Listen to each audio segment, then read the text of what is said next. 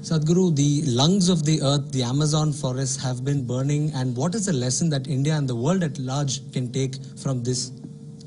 See, I wanted to look at uh, the images of the burning images of Amazon forest, even in Central Africa it's burning unfortunately.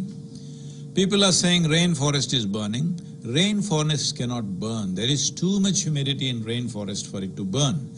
These are forests where all the timber has been removed.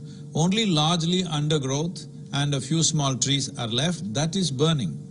And uh, probably they want it to burn because they are trying to make it into cow pastures. All the people who are importing beef from Brazil must know if they want to grow, grow that many beef cattle, they need plains, grasslands. That's what they're trying to do, which is what every other nation has done. Developed nations have done this in the past. Now we are trying to tell them one important thing if you want to save ecology on this planet, if you want to put forests back, one important thing is human beings have to eat sensibly.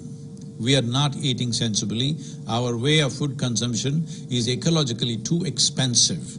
So it is for beef cultivation, it is for beef growth that they're clearing the forests.